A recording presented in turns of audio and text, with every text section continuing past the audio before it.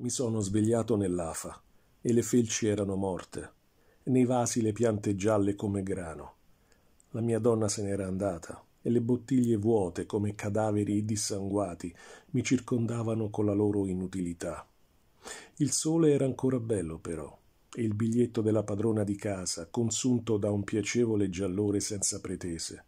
Quello che serviva adesso era un bravo commediante vecchio stile, un giullare con battute sull'assurdo dolore. Il dolore è assurdo perché esiste, niente di più. Ho sbarbato attentamente con un vecchio rasoio l'uomo che un tempo era stato giovane e diceva di avere genio. Ma questa è la tragedia delle foglie, delle felci morte, delle piante morte.